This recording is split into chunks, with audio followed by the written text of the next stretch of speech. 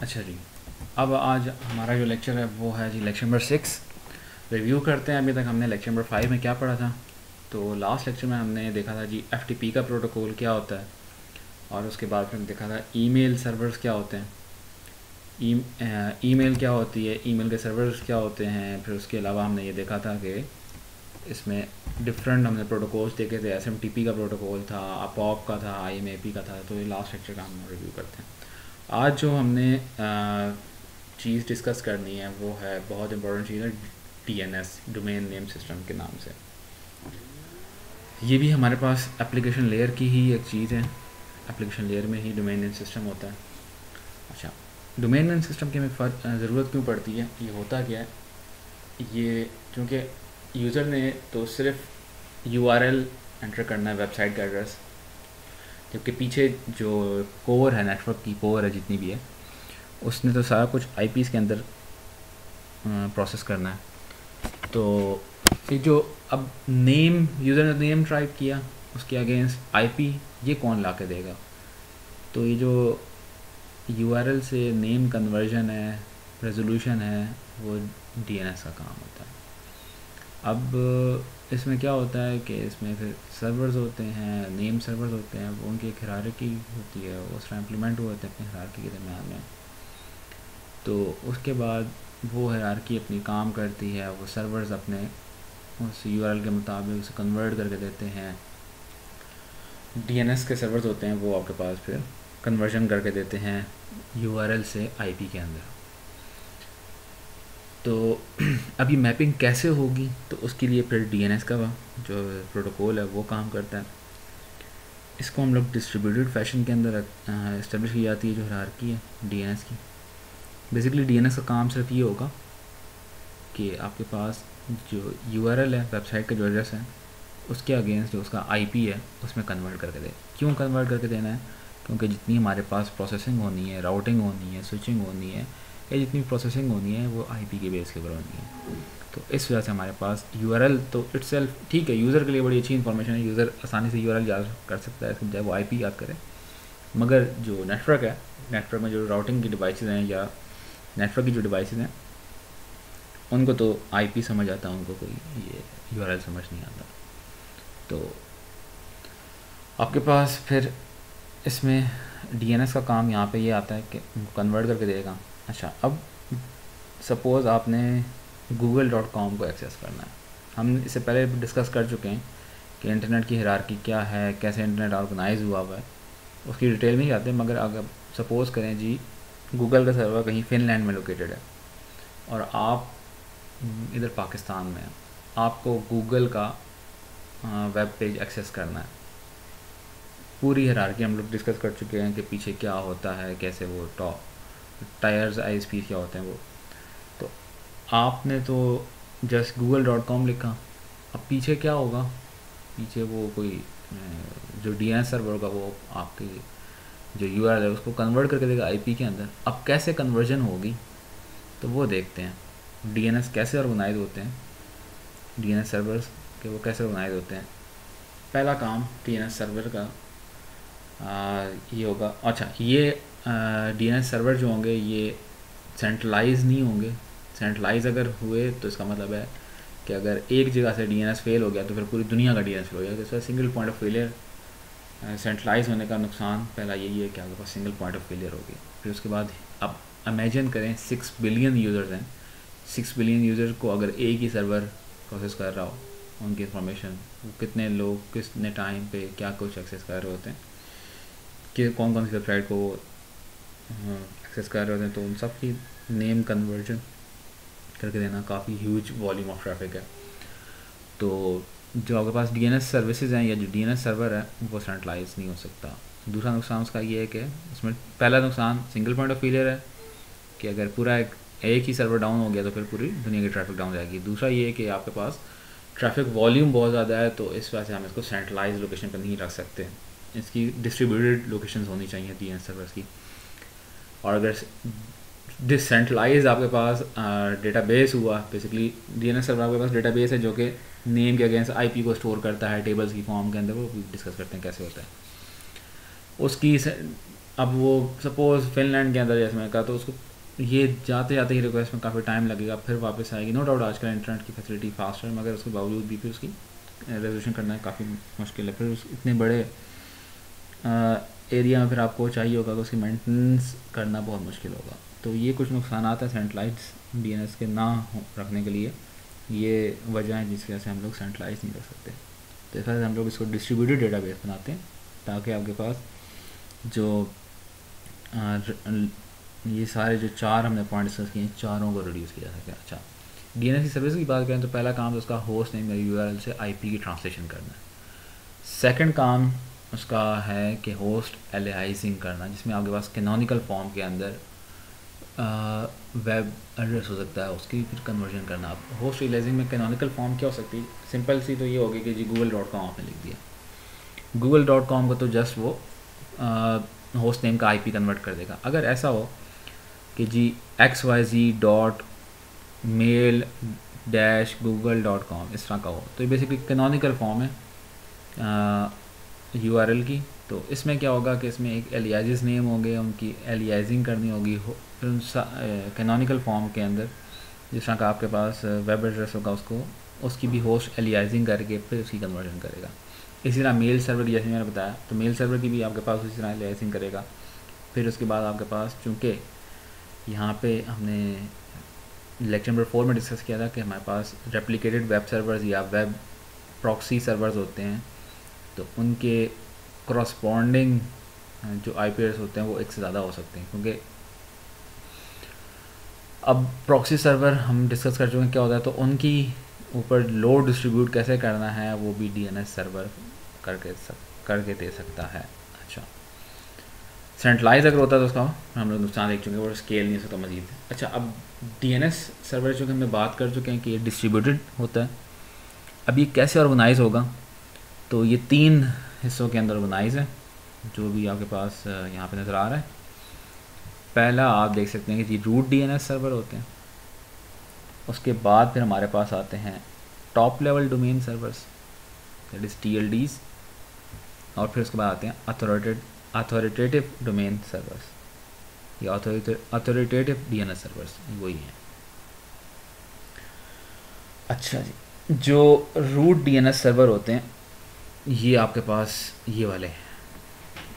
یہ پوری دنیا میں اس وقت thirteen root D N S servers ہیں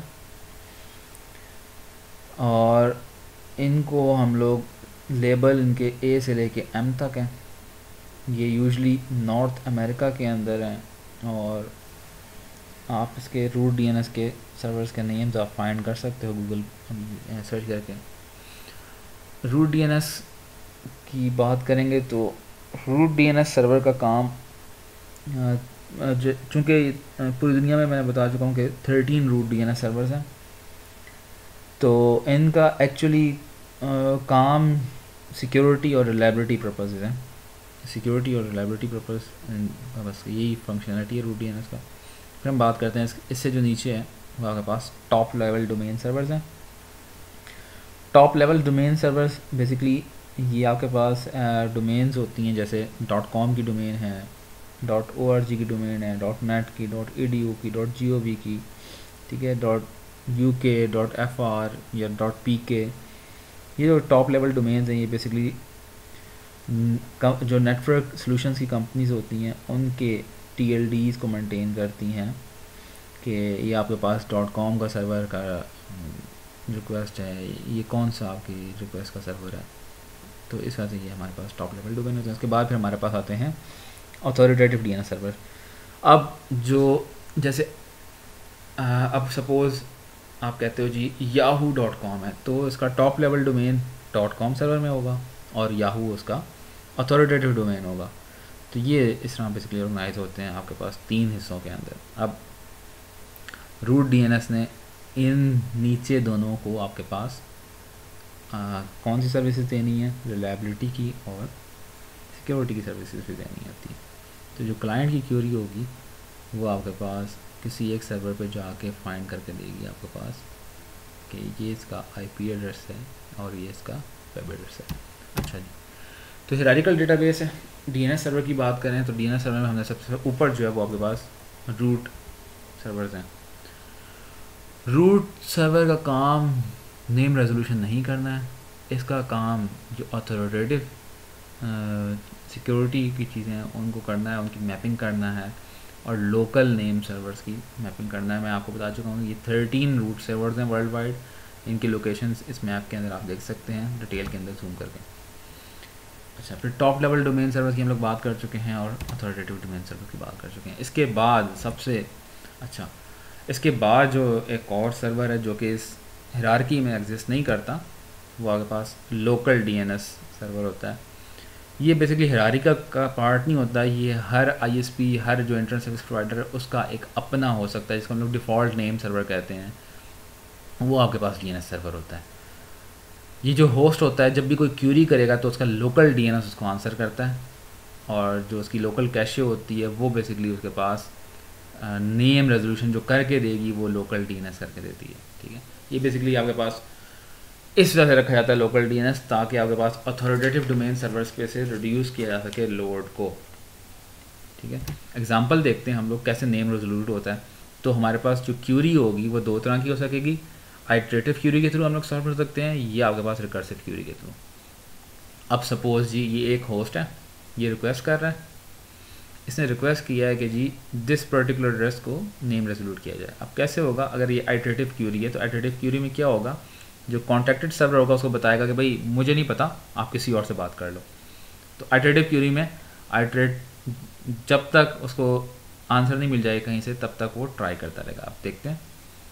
پہلے اسٹیپ کے اندر کیا ہوا؟ اس نے جو اپنا لوکل ڈی این سرور تھا، اس سے ریکویسٹ کی کہ بھائی، مجھے دس پرٹیکولر ویب سائٹ کا ہاں، کنورژن کر کے چاہیے تو اس نے اپنے ٹاپ لیول سوری جو یہ لوکل ڈی این ایس تھا، اس نے اپنے روٹ ڈی این ایس سے کانٹیکٹ کیا۔ روٹ ڈی این ایس نے کہا، بھائی، مجھے نہیں پتا۔ یا آپ اپنے ٹی ایل ڈی سے پتا کرو۔ ٹی ایل ڈی نے کے پاس فورتھ اسٹیپ میں ریکویسٹ کی۔ تو ٹی ایل ڈی نے اس کو آنسر کیا کہ، بھائی، مجھے بھی نہیں پتا۔ آپ اپنے اتھارٹیو ڈومین سے پتا کرو۔ اتھارٹیو ڈومین نے اس کو پھر رسپانس دیا کہ ہاں بھائی، یہ میرے پاس تھا۔ اور دین پھر اس نے اس کی name resolution local D N S نے کر کے دی۔ تو جو نیم ریزولوشن کر کے دینی ہے وہ لوکل ڈی این ایس نے کرنے کے دینی ہے اگر آئیٹریٹو کیوری ہوئی جب تک اس کو رسپانس نہیں ملتا۔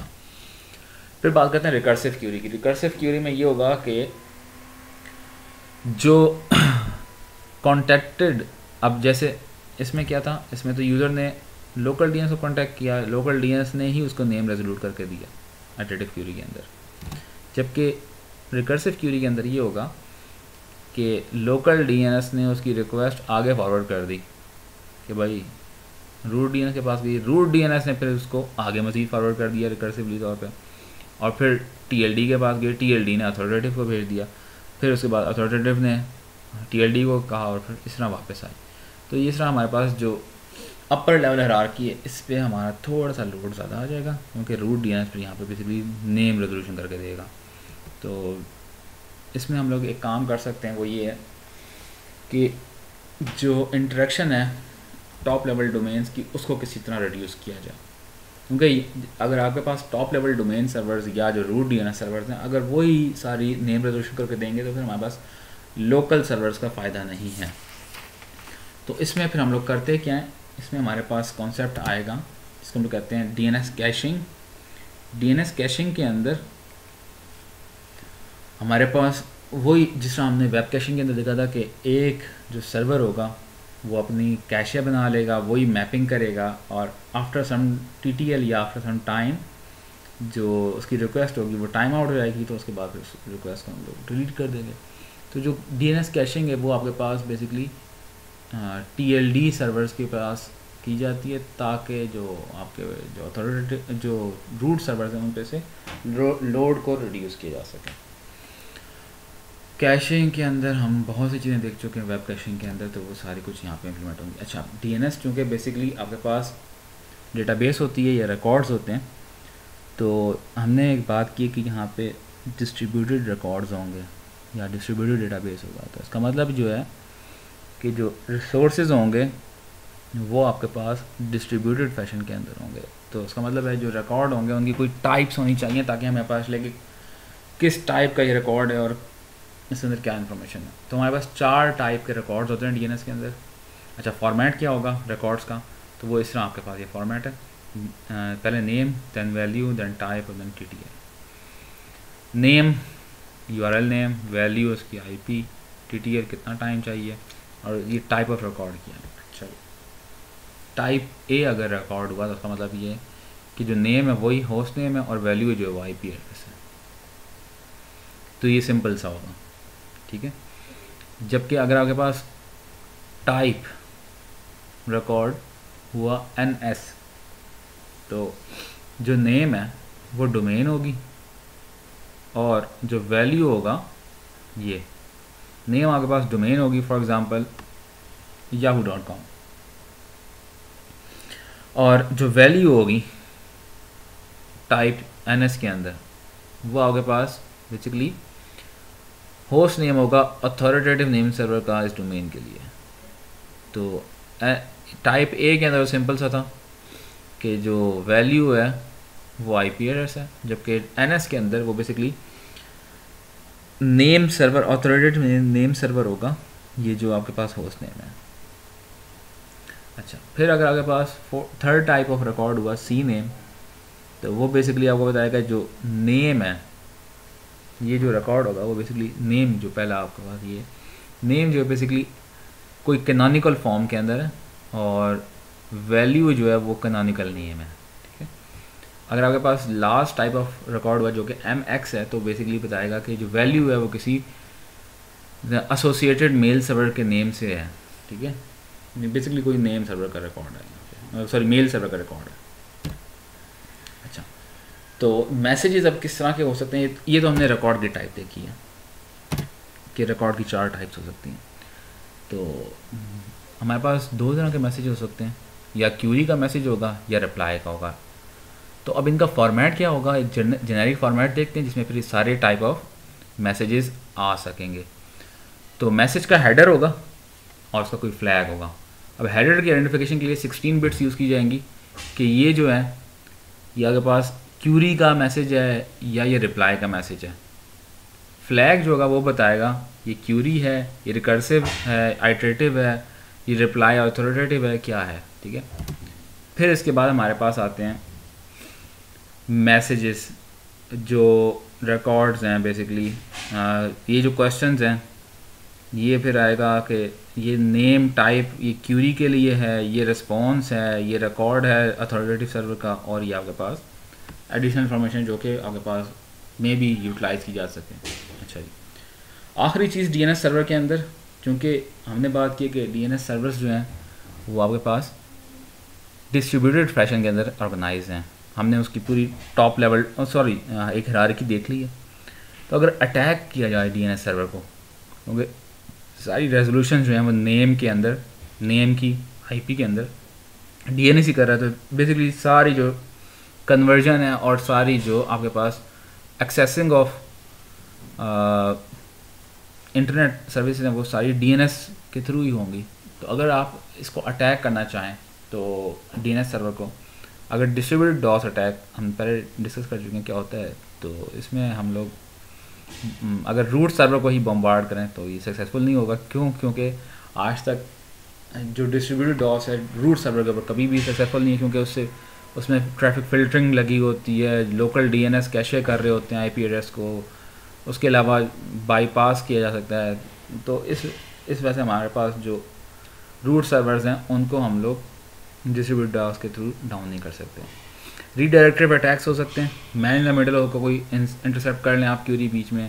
ڈی این ایس پوائزنگ کر سکتے ہیں۔ کوئی مطلب ڈی این ایس پوائزنگ میں ہوتا ہی ہے کہ آپ کے پاس جو سرور ہوتا ہے اس میں کوئی بوگس آپ ریلائے رپلائی سینڈ کر دیتے ہیں جو کہ کیشے ہو جاتا ہے تو پھر اس کے بعد پوائزننگ ہو جاتی ہے۔ آپ بوگس رپلائی آپ سوچ کے کچھ نہ کر سکتے ہیں۔ ہاں البتہ جو ٹاپ لیول ڈومین ہے وہ بہت زیادہ ہاں، ان کے اوپر اگر سوری ٹاپ لیول ڈومین کے اوپر اگر آپ ڈسٹریبیوٹ ڈاس لانچ کریں گے تو وہ کافی زیادہ سیویئر ہو سکتا ہے۔ اچھا جی اگر ڈی این ایس کو یوٹیلائز کیا جا سکے تو اس میں ہم اگر ڈی این ایس کو ہوئی آپ یوٹیلائز کریں ڈسٹریبیوٹ ڈاس کے لیے، کیسے کریں گے کہ آپ ایک اسپوف کر لیں کہ میں ڈی این ایس سرور ہوں اور ایک ٹارگیٹ آئی پی دے دیں، تو اس میں ہوگا کیا کہ سارے جو ڈی این ایس ہوں گے، وہ آپ کے پاس اسی ایک سرور کے اوپر، اسی ایک آئی پی کے اوپر اٹیک لانچ کریں گے۔ یہ کافی سیویئر ہو سکتا ہے۔ تو یہ کچھ طریقہ جن سے ہم لوگ ڈی این ایس سرور کے اوپر اٹیک لانچ کر سکتے ہیں۔ یہ تھا آج کا لیکچر نمبر سکس اچھا میں انشاءاللہ کچھ دیر میں، آج تو نہیں ان سم ٹائم جو آپ کی اسائنمنٹ نمبر ون ہے، وہ اپلوڈ کر دوں گا۔ تو آپ لوگوں نے کوشش کرنی ہے کہ اس کو ٹائملی طور پہ کمپلیٹ کریں۔